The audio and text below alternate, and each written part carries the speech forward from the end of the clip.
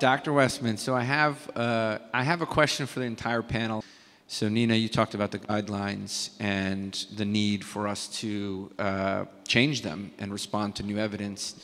Dave, you've uh, championed the LMHR and what it's taken to uh, produce some studies.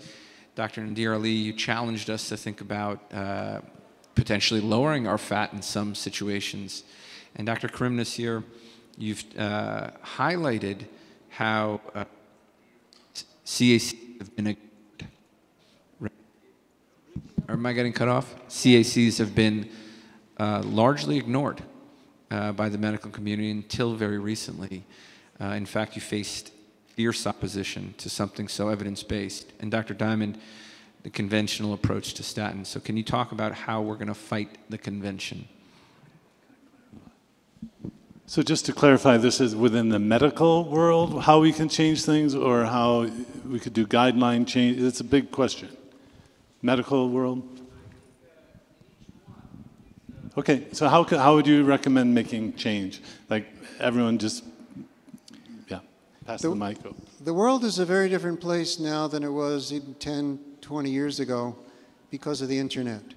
It used to be an organization such as the American Heart Association could control um, the information. And the pharma still has a great deal of control over medical education. But I think meetings like this, publications like ours, learning more about um, the coronary calcium, which is somewhat independent of cholesterol, uh, I think this new information that we have that's being shared on the internet, um, I, I think has made it a very different world. So I don't think we're going to get the American Heart Association to change, and I don't think it's, it's not easy to get the dietary guidelines to change, so we need a groundswell um, that comes from uh, groups that are attending this meeting, the Facebook groups and others. Um, and I think ultimately we have to reach a tipping point in which we can force a change on those who are currently in power. Uh, well, I, I have a more optimistic view. And I've seen change happen. So again, change is hard. Um, it's very hard to pivot from what you believe and what you think. What I've also seen is the word has become more polarized. It's always or. Lipids always is the answer, statin is always the answer, or statin side effect is the issue. I, I, I think so, it's more in between, something in between. And the only way in moving forward is developing consensus and finding areas of collaboration. Because in all honesty, the group that's out here doesn't need much more education in this space, right? You're all believers. You all see what it needs. Now, how do you get the rest of the world see the facts? Can the guidelines change? They can. We have shown it, it can, but it needs vigor. It needs to build a village, and you have to build the momentum which will snowball. But you can't take a polarized stand and say nothing's going to happen so in 10 years, we'll still have the same discussion on this panel and keep on pointing to the US guidelines. We need a collaborative team of folks like Dave and Rest and the scientists coming together to build those studies where everything builds on each other. Because otherwise, we, I can assure you, if we do not pivot in this approach and thinking that it's all AHN, all pharmaceutical, and there are problems, but people are willing to listen if you do the right thing in the right manner and in a collaborative fashion. So that's my advice. That's why I'm very optimistic, and I think so. Thanks, Dave, for pushing the science forward, and I'm very happy that we have folks like you doing this. That's the point I agree on, that Dave Feldman is doing some very seminal work that I bow my hat to. But I think that the change is going to come from grounds up, not from top down. Because the top is so much with conflict of interest. Perhaps the American Heart Association is one of the most corrupt organizations in this world. With the amount of funding that they get from pharmaceutical industry, that it's only grassroots that is going to change the paradigm because now there is even knowledge between people like you and experts. The leveling, the playing field has leveled. And it's not going to happen without the efforts that Nina does in pointing out to you that how these guidelines are out of touch with what metabolic health can be. Thank you. Two things. Transparency. We need more transparency in science, full stop. Full stop. We need more of these large data sets that are captured with research to be available for additional independent analyses. And how do I define transparency? It's whether or not skeptics of that study have access to it without barriers to entry. That's how I define transparency. If we have more transparency, we'll do a lot better, in my opinion. But on top of that, for goodness sakes, can we please study more healthy populations? Full stop. Can we, if we have more data on healthy populations, we'll have a better sense of what really does and doesn't matter. And part of the problem is, is we have so many studies, endless amounts of studies, that have generally populations that are metabolically challenged. We're dealing with a number of issues, and then we extrapolate from that what we think healthy populations should have for the reference ranges. That's what I would change, and I think those two would change quite a bit in, in nutritional science. That's my opinion. Uh, no, I, I think that more and better science is part of the solution. I mean, when Virta came out with its five year results and presented them at the last American Diabetes Association meeting and showed remission of type 2 diabetes, and there is no other nutritional approach except for maybe Mediterranean with that length of a study, that was, that was mind changing for a lot of the people at that conference. So data will make a difference, but I don't think that this debate is really about science. I think the people in this room are responding to science. There, there are some doctors that respond to science, but all of you know doctors who look at you having reversed your diabetes and saying, Isn't that dangerous, that diet you're on? So, even before their very eyes. And I just I presented data in my talk about how our policymakers, despite reviewing you know 89% of the studies in their own review, saying one thing, they say another. So a lot of this is not about the science. So I'll just say, I'll be brief. But we need to, as others have said, we need to organize this grassroots movement.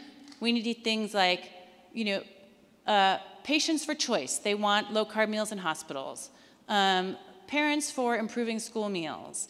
We want parents of teenage girls who've gone vegan, parents who don't want their schools to go vegan on Fridays. We need a bunch of these different movements, and we need to aim that grassroots power at the power in Congress and influencers at, in state levels. You need to aim your energy somewhere to create change. That is, I think, how we're going to create change. And we also need a lot of money behind PR and TikTok videos and people like there's that is where the war is happening for information.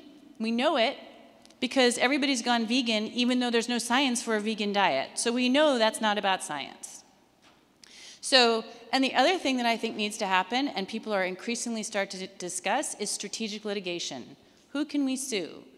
Uh, can we go after the American Diabetes Association for telling people to eat, uh, you know, to eat pancakes with maple syrup for breakfast when their own scientific statement is saying that's not healthy? Or, or Pepsi or Coke, is it time to go after them? Can we get the attorneys general who went after the tobacco companies maybe to go after some of these food companies? So there's a number of strategies, and I think that, you know, with the science that we have and the people that we have and mobilizing a little bit more, um, I think that we can create change. I do. Because all you healthy people are testaments to, you know, all you are going to go out and, and, and you are all vectors in the world. And, uh, and, and this is spreading. Like, we are spreading. So sign up for the Nutrition Coalition. That's my last plug. Thank you.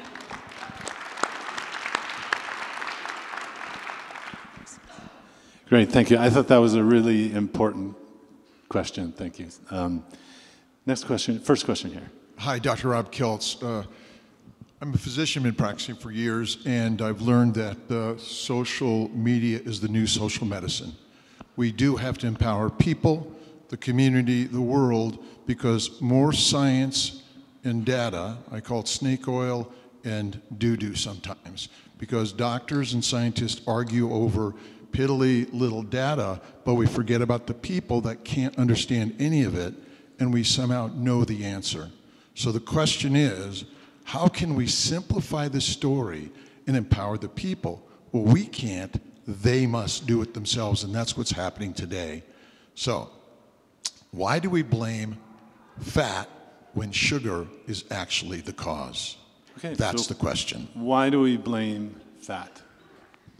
Um, okay, well, uh, this is a little self-serving, but I recommend you my book because No, It's- that's, it's a great book. It, thank you. It really tells that story.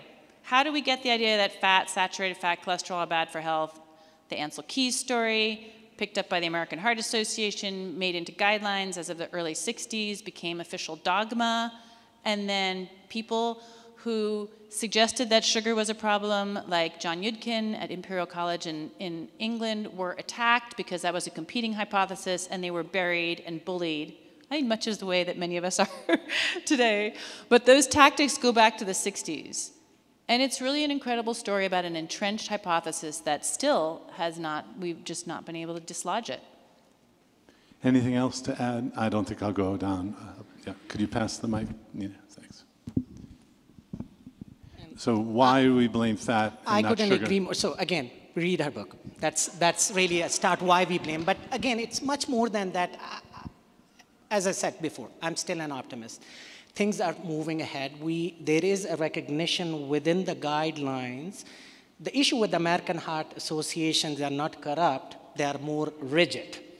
They want a certain level of evidence, and sometimes no study does not mean no evidence. It's just no study.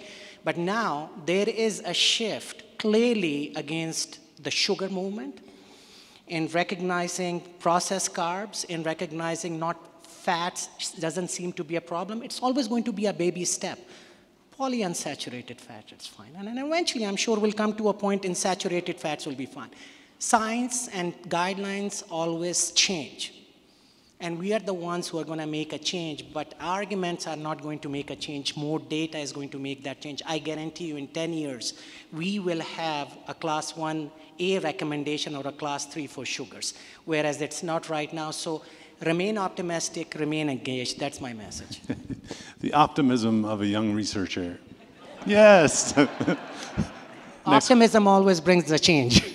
I totally agree. Yes. Hi, this is Gloria, and I have a question that I think might affect to more than one person.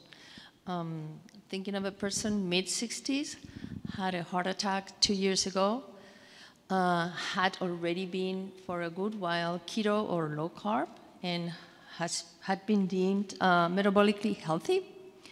Um, my, the concern that I have is the one of the concerns is the blood sugar. The, the fasting blood sugars has have always been between 115 and 120.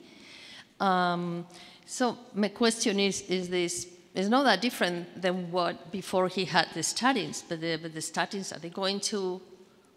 What is the expectation? Are they going to start creeping up? Uh, is there a timeline? Is there a time when they usually start to come up, or, or is it never going to happen? Any questions, any answers would be. Anybody? Uh, uh, that was a hard question for me to understand with the echo. Were- Sorry.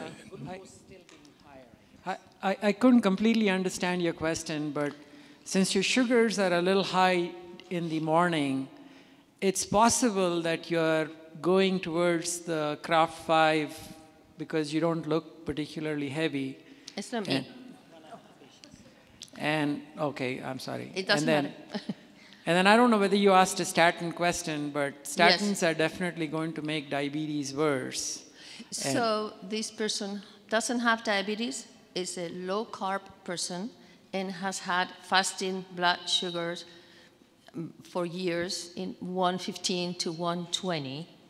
Um, maybe I would bet that they are pre-diabetic or to some degree insulin resistant with those sugars.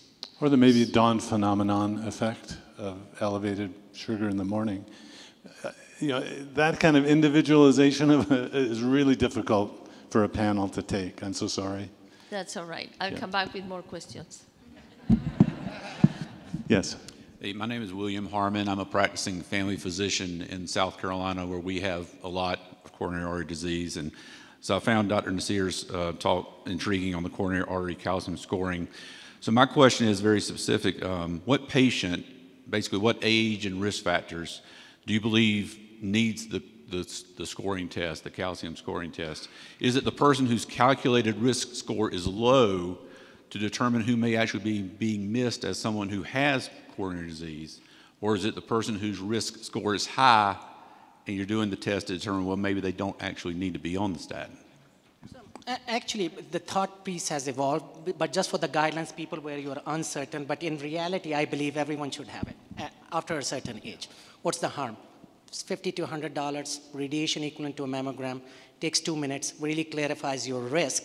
And I can tell you, of course, we were called all healthy. If next year we had a calcium score out, CT scan out here, and all of you guys go, went and get a scan, almost half of them will you have plaque, and 25% will have brewing disease that we wouldn't have known that was significant enough.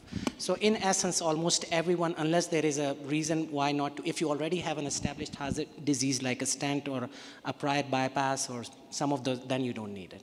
Is there a certain age? 40 years and above, th- less than 40 if you're metabolic syndrome, severe obesity, diabetic, or a strong family history of heart disease. Now, some people are, are not so cavalier about the irradiation of a mammogram or of a CT, CT scan. So, uh, could you do ultrasounds of other of the vascular system I to would, get? yeah, that's a fantastic point. So think about the I mean, cavalier isn't the right thing. No, a no, of the people are radiation is equivalent to if you would fly from New York to LA and back. That's the radiation. So again, I'm not dismissing it, but I'm saying once for a lifetime, five years is not an issue. Ultrasound would be amazing if it worked. Unfortunately, again and again, the data I showed, it's more of a reflection of the risk factors and doesn't really add above and beyond. But for me, that would have been an ideal, a carotid ultrasound, a peripheral vascular ultrasound. Unfortunately, for the risk of CVD, including, including stroke, doesn't really add much. So if you have one choice for uncertainty and risk, it's the calcium score. In an ideal world, if you are able to afford $4,000, then CT is great. But if for $50, this is the best and the information that you're going to get. Yes, so when will CT angiograms become more widely available? Cost.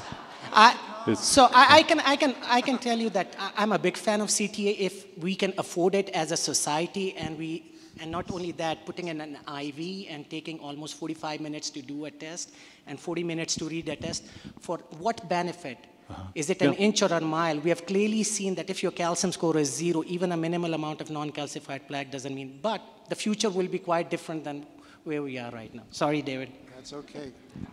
Okay. so you did show a, a study, Khurram, in which people with high coronary calcium had a lower rate of events when they were on a statin. What's really important is those people did not change their lifestyle. There's no evidence that they did anything, that they became low carb. We don't know anything about those people. So what I heard at the end of that question is, um, when does someone need to be on a statin?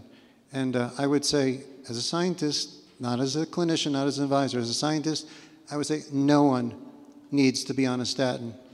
That someone, for example, in the 4S that is at high risk, they can put themselves in the category of 4S that was in low risk. You have the control to be able to change your triglycerides and your HDL, your blood sugar, by changing your diet and lifestyle. You change your diet and lifestyle, you don't need to be on a statin. Thank you. Uh, let, let, let me answer this. And you know, I've been to multiple medical meetings and where it's all about lipids and statin. And you know, this is the polarization that plagues our society. That's what, what the issue is. Yes, it causes diabetes, but for individuals who had an HbA1c of 6.3 or 6.2 or 6.4. Statins in the right population clearly has shown to regress the plaque, stabilize the plaque, make it high dense, reduce inflammation, and if it's all about inflammation, PCSK9 have shown the benefits almost the similar. Now, just because it works doesn't mean it's for everyone. That's the whole idea. But this notion that it's for nobody, I think so it's equally damaging and challenging to the society where a lot of patients who are high risk, and we deal with patients. You're sitting in front of me, you had a calcium score of 400, your LDL is 100, you're a low carb person, you're insulin resistant. So, should I tell you I'm going to give you the evidence. This is where the evidence is. I think so. That's what we need. We find need to find a middle ground because polarizing views will never help, and it will continue to, I would say, increase the divide that exists, and we'll never get to the right answers. That's my view because I deal with patients, and we have seen the data and the data, it works in the right patients. Now, I completely agree with you, David. Those patients might be on a low carb diet who were taking statins, and people who were not, but in my view, the low carb community is very statin skeptic. So I'm, I'm not too sure that a lot of those patients would be on statin if they were low carb diet. All taking a statin takes 11 patients to reduce one event. So again, talk to your doctor, think a little bit more about it. The answer so, is not or, it's somewhere in between and it's an and. Thank you. And, and let I, me just make one, one more statement. I need to editorialize, and that is you're so young and optimistic. Um, every day, a patient comes to me and says the other doctors won't talk rationally about statin medicines. They fearmonger and want to push it down the throat of my patients, and they're using the old LDL-C uh, the family docs, and this is in Duke University environment. So, so this is great if you can have a discussion, and but that's why we're having the discussion here. Often the doctors aren't aren't uh, willing to have that discussion, David. So and I just look at this as a scientist. Let's just state as a fact. There has never been a study to look at coronary events in people on low carb diet. There has never been a study on people on low carb diet given statins. So we have to realize we have no data. Well, there's one on, ongoing. Right. But, and as much as I love Dave Feldman's work, he still hasn't looked at coronary events. So we don't know. And I'm saying historically. I can't say anything on that because it's ongoing. Okay, but let's just look in the published literature. We don't know about events in people in low carb diet. For all we know, you're all going to have a heart attack because you're on low carb diet. We don't know. But I'm saying, uh, emphasize there has never been a study on statins given to people on low carb diets, so there is a void. Yeah. And so that's why I emphasize no evidence. So yeah, and I also emphasize there's no evidence jumping from an airplane without, with or without a parachute is going to save your lives or not. Yes, so again, we are common sense people, and we have to extrapolate. Okay, hang it on. Time out. Easy. Time out. Next question, please. I, I forgot my question. Not really. Uh, hi, Alan Schaefer, MD, LMHR, CAC0, um, pulmonary, critical care, sleep, obesity, and metabolic health medicine, Albany, New York. My, um, I think two quick comments and then a quick question. I see optimism. I've been here doing these things for 15 years, and the momentum we have, I am certain we are going to make the change that we need to change, partly and major because of all the people sitting there. I, look, I feel like I'm looking at the 27 Yankees here. This is amazing. So um, I just want to say uh, my question is, uh, Dave, is there an endpoint to your uh, new study that you've been thinking about for the past week or so, or have you not gotten that far? I'm very interested in getting involved in that. Oh, well, yes. I, and of course, many people have asked me the, those questions over the last like hour. Again, these talks are brand new. They've been feverish. I've been talking with both Lundquist, I've been talking with uh, potential donors, uh, working, also just talking with great people like Khurram Nasir as to you know, what would be realistic, what makes the most sense for what this confirmatory study is. And let me state plainly, a lot of what people were complaining about with this existing LMHR study, such as not having the control group, I 100% think let's sure let's go ahead and work with that right? You have your historical control in miami i mean. Yes and it's great. I, I can i just say just real quick i'm so freaking thankful that khurram nasir happened to have been doing miami heart because then we wouldn't have even been able to do the match controls. So when we get to finally do that analysis it just wouldn't have happened had he not been doing that study. But i do want to say one other thing because i think it's kind of important. I obviously feel like um, I'm trying to do my best to be a good scientist at all stages of doing this. And it's why I wanted to even interrupt my own speech in the middle in saying, please continue to work with your doctor. Don't over. There's no single study, as excited as I am about even my own study, as much as I want to float on it right now, there's no single study that should have that much impact on your entire life's medical care. So, again, there may be cases that we ultimately find after we get the longitudinal uh, study. For example, there may be some genetic interactions with some particular people. All of those things are possible. And we may even find that those folks who are not LMHR status but in the more permissive group do in fact show that there's more nuance to it, right? The, the important point is that the confirmatory study is the case where we can really step forward and that's where we do want to have these conversations and i like to have them just like you're doing right now before we lock down what that study is going to be because getting back to what i was saying before unfortunately too often these decisions are made without everybody else in the room and that's i like this kind of science i like where everyone stays in the room and we can have this all on the table and talk about it first before we move forward Wonderful. Are you looking at uh, doing uh, thyroid panels on these people because of what Amy said yesterday about the uh, correlation between cholesterol levels and thyroid? Thank you. Thyroid. If you don't use the microphone, don't use the microphone. So oh, you can um, are you thinking about looking at thyroid panels? Because as Amy was talking about yesterday, high cholesterol is often associated with low with uh, hypothyroidism.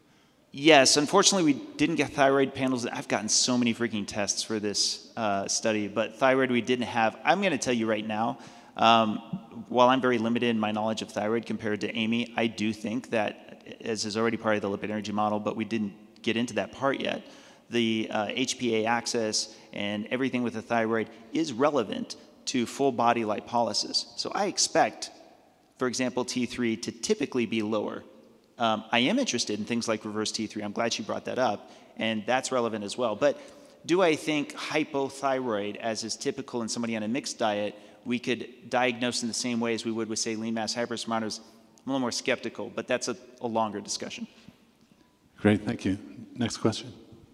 Hi, I'm uh, Craig Fletcher. I'm right, uh, uh, Denver local, and I'm an independent enthusiast, not a doctor like all these awesome doctors my cousin's a functional MD, and he invited me here. Um, so I feel really privileged to be able to hear from you guys and, and, and ask you a question, uh, just being here. But we, you've done a good job of squelching, I think, the lipid hypothesis, which, for those who don't know what that is, just that lipids are causative for heart disease. I think we've heard enough data and enough studies where that's squelched.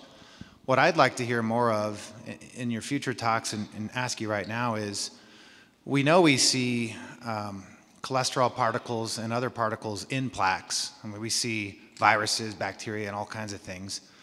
What we didn't talk about is the underlying root cause of cardiovascular disease. How do they get in there in the first place? I think you should jam on that a little bit now, but in future talks, so, and then recommendations to avoid it. Because we know it's not LDL, so what is it? I certainly have uh, opinions. Unfortunately, they're very lengthy. It'd be like ChatGPT if I if I responded. So I'm going to hand so, it off to somebody who could put yeah, it short. Let's get a clinical response, briefer, you know. so you are saying what is cause of heart disease if it's not cholesterol? Underlying root cause. Yeah. yeah. So I, I do think that LDL is involved in inflammation and repair. And you'll find an LDL molecule at the site of an atherosclerotic plaque, the fundamental question that I disagree about is that what is, what is it there to do? and I think it is there to do, it's there to heal the plaque, it's there to dampen the inflammation. It's not a causal factor. An association does not make causality. And that one fundamental aspect about it cannot be teased out by looking at all the molecular literature on causes of atherosclerosis or looking at all the clinical data. Could I be wrong? Yes, I could be. But based on 32 years of clinical experience, I have found that LDL and cholesterol does not correlate with heart disease as you would think. So I'll yeah. pass it on to Khurram so that he Thank can you. contradict this. And Very brief. We don't know. Well, and can I just editorialize? We don't have to know. We don't I have mean, to know. Eh, we're, the discussion, the discussion here is trying to, is it okay to have a high LDL right. when you're following a lifestyle that's fixed everything else, and you don't really have to prove, like the old Matlock show where the TV show, he would come in and not only exonerate his client, he, he would find the perpetrator and they'd run out at the end of the show of every, we don't have to know what it is. there is a book by Malcolm Kendrick that gets into the hundred other possibilities. And I remember an abstract from a group in Boston. They said it was periodontal disease. They said it was from the teeth. It's from the inflammation. So there could be so many sources of inflammation that well, not necessarily inflammations like cholesterol, one of the contributors, because you have people with SLE, psoriasis, CRPs in the tens and up, meeting Jupiter criteria and having no plaque and doing pretty well. So again, it's, there are many things that's contributing. Lifestyle, hypertension, smoking. It's extremely heterogeneous. So making it a soundbite, it's inflammation, it's cholesterol, that's a disservice that we are doing. The answer is we don't know. There So- are a lot of things. For this audience, look, out, look at the book The Clot Thickens by Malcolm Kendrick. Has anyone read that book? Yeah. Is Check it, is it too simple to say that endothelial dysfunction and glycocalyx dysfunction is the beginning? Not necessarily. We, in Miami Heart Study, we have looked at endothelial arterial reactivity, no correlation with any earlier soft plaque or anything. The whole endothelial function, it's so variable. It all depends what time of the day you're checking. So again, as I said, it's very easier to say yes and no. There's so much into it. Next question, please. Hi, Elizabeth Urith. I'm Chief Medical Officer at Boulder Longevity Institute. And a couple of questions. Um, number one, why aren't you guys using the new AI technology, the Cleerly scans, for your CTs instead of going on to CT angiograms, since we now have AI to be able to, to take your CT, your coronary CTs, and then take it a little further just by running it through AI algorithms like Cleerly Scan. And then number two, in your patients with the high LDLs, I, I have tons of patients with high LDLs. I do think it's a factor of the ApoB-A ratio that makes a difference, but also looking at myeloperoxidase, PLAC, and oxidized LDL as factors that are predictive. Are you looking at any of that? So at my end, you know, honestly, we start with a plaque burden. Honestly, APO A, B, C to Z doesn't really matter. And in the end, it's really what the disease is. Once you have the disease, so my opinion is risk factors do not predict risk. Risk factors are targets for management. So once you have the disease, then we personalize and tailor according to. We are all learning. I couldn't agree more. We should do CTAs more, if more affordable, more easier. Unfortunately, that's not the case. Calcium does a fantastic job in lieu of that. Uh, actually, it's kind of funny. This topic came up last year, and you remember how I said we kind of ran into some bumps. I'm not sure if I'm allowed to share this, but I'm going to go ahead and share it. Um, it was, in fact, the case that in the middle of last year, there was, if you can call it this, concern that there wasn't a lot of plaque at baseline with our participants. So we did kind of have a sense that this might be an ongoing thing. Um, and at that time, there was a lot of discussions. We had some meetings. But a few months later, when I had met Dr. Budoff, his mood had entirely changed because, sure enough, AI guided uh, scanning with CT angiograms has really been revolutionary. Like, literally, there's just been a huge revolution, such that at very small levels of plaque, you really can get a better sense of what really had changed. And so, once again, I, you know, as a technologist, I can't help but point out AI helping out again. So long as it's not Skynet, I think we're going to be okay. I, thi- I think the problem we have to look at here is we're focusing on like a CT. Once it's abnormal, the disease is there.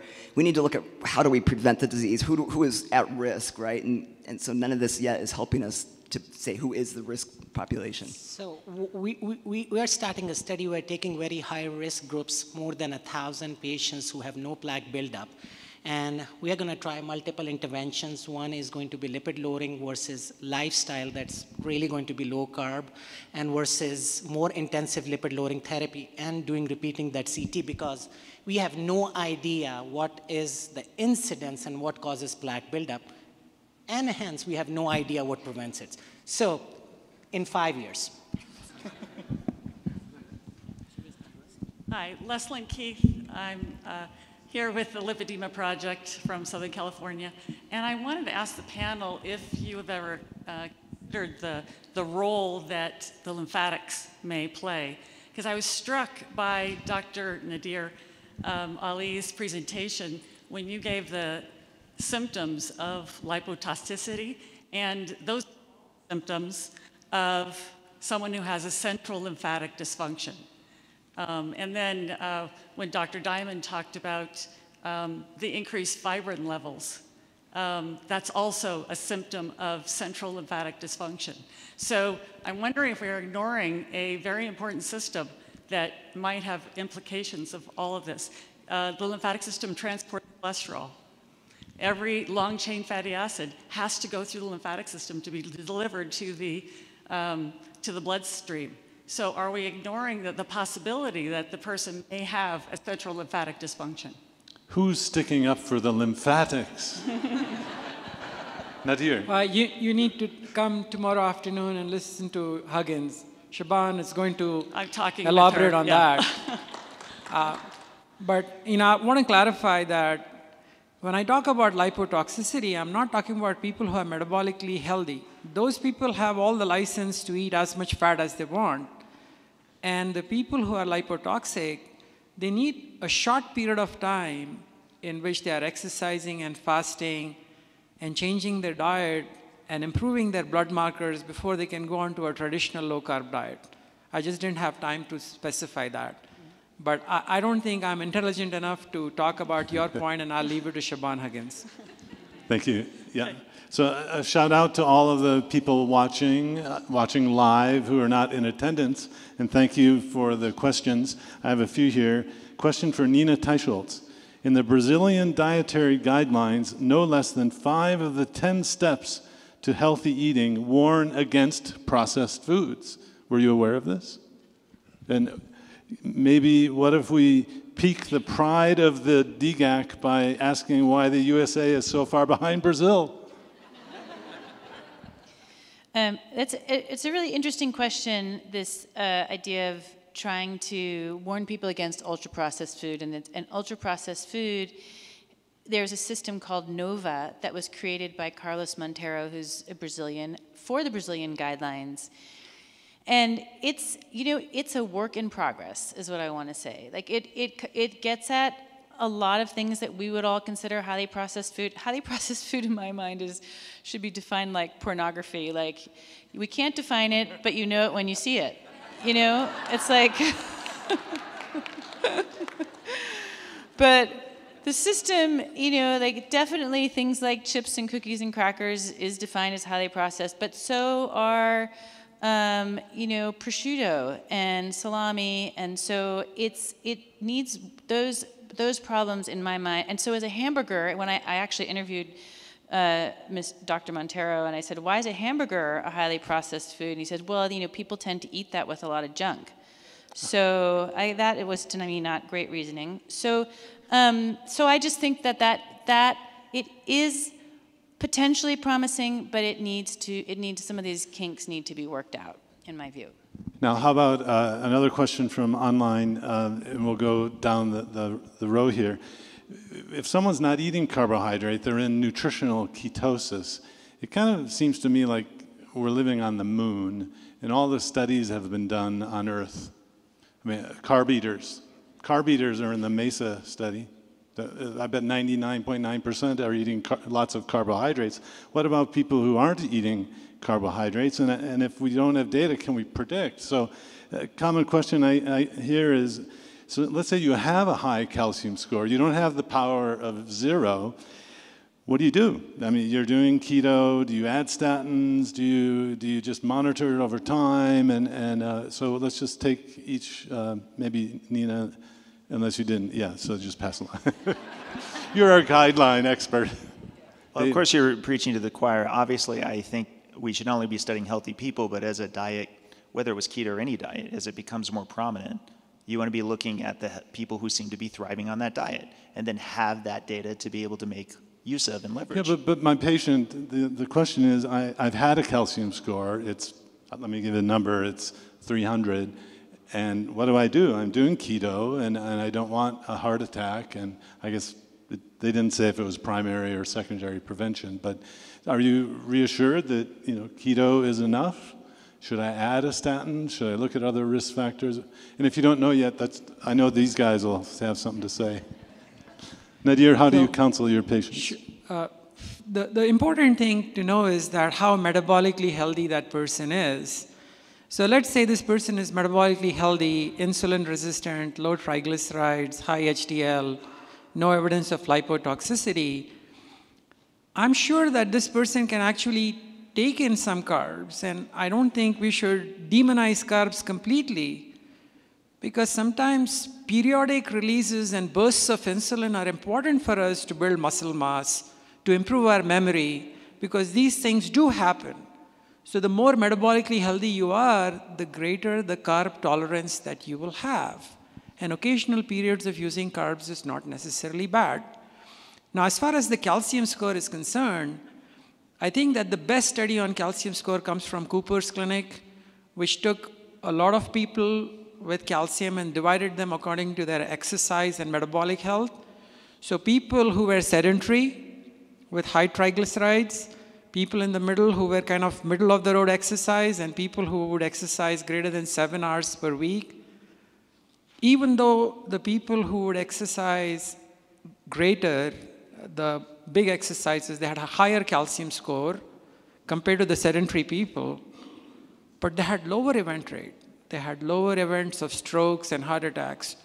So calcium score is not the end all. I have patients in my practice with over three to 6,000 of calcium who have remained stable in good metabolic health with lifestyle changes. Great. So, but so those studies among carb eaters apply to those who don't eat carbohydrates? So again, you know, so much uncertainty, but let's find where there could be some commonality or we can extrapolate. So in MESA, you have diabetics and obese diabetics. So again, that's one extreme.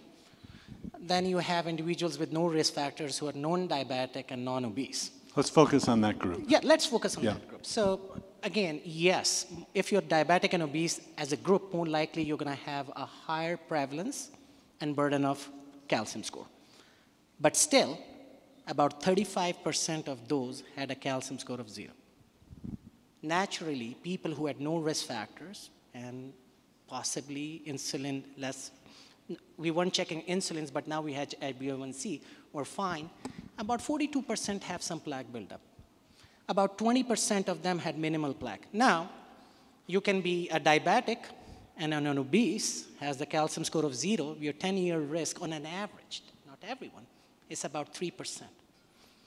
And you can have no risk factors, non-diabetic, good exercise capacity, and have minimal calcium score. On an average, your risk is around 7%.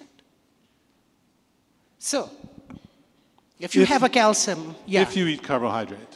I don't I'm- know. Well, no, I know. So again, Oh, most likely, I'm sure I, I'm just saying they're going to be healthy. So all I'm trying to say is, till we have, if you, the answer is it's all about diet. I'm just telling you, it ain't. Eh, well, but the you common ground You have to think more beyond, and now we have to extrapolate. So for me, right now, telling someone with no risk factors who's healthy living, and by the way, in the Cooper study, you're absolutely right. As a group, the exercisers and healthy lifestyles had a lesser event. But if you look at the sub-analysis, individuals, even those marathon runners who had a very high calcium score as a group, they had much higher events than sedentary individuals who had no calcium or minimal calcium score. So in the end, your disease matter. All I'm trying to say, don't ignore that. Always pursue extreme healthy lifestyle. But if you have disease, you are vulnerable.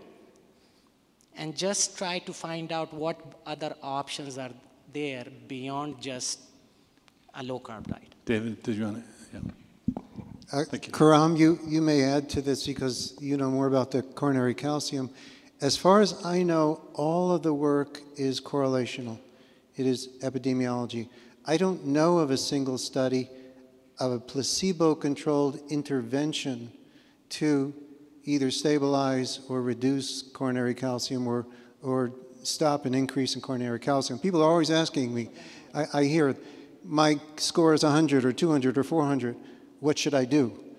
And I don't know of any intervention. Obviously, a healthy lifestyle makes sense.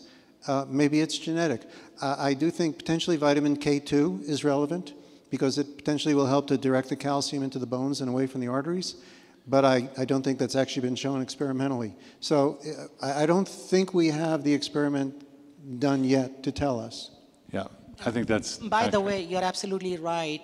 There are not many studies done, but there are not studies done one way or another. So let me tell you what the studies are done. So if calcification is not going down. It's some flag. So if anybody is trying to think about LDL or your HbA1c, so you're, you're in there for a disappointment. I don't ever have a calcium score that my calcium, it's a flag, it's a part of the healing process. The more calcium, the more non-calcified plaque, the more turbulence, the more outcomes. There is never a plateau that at that calcium score your levels is comes. So if your goal is getting your calcium from 150 to 50, ain't happening. But if your goal is making sure that a calcium of 100, now you're at risk for a heart attack and stroke.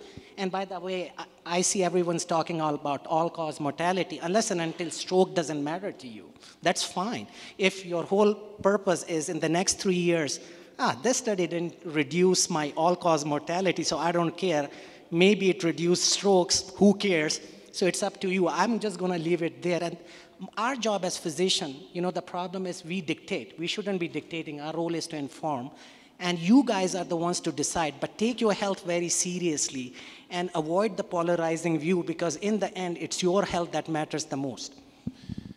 Thank you. Uh, we're running out of time. I, just am trying to summarize here that uh, sometimes in the low carb nutritional ketosis world, we see things that haven't been seen before like reversal of diabetes, all of these other problems. And so I, am still, I'm hearing this and saying that we don't know what to do when you have a calcium score. The power of zero is great, but once the calcium score is up here, you may be able to reverse I, it. There are I some had a anecdotes. patient exactly on a low carb keto diet with a calcium score of 600 was also on a little bit on a statin and his calcium score went up and he has the same question I what does that mean? We got a CTA, he has a moderate amount of non-calcified plaque, new that's still brewing.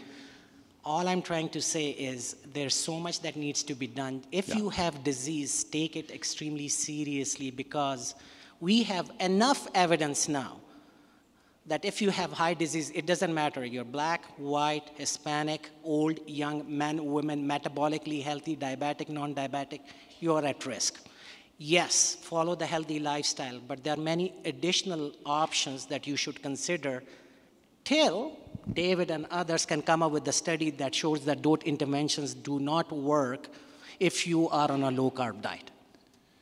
So, so glad you could come to this meeting to hear the other panelists. And I, am going to have to cut off the, the um, questions at this time. I, let's thank the panel again for a wonderful morning.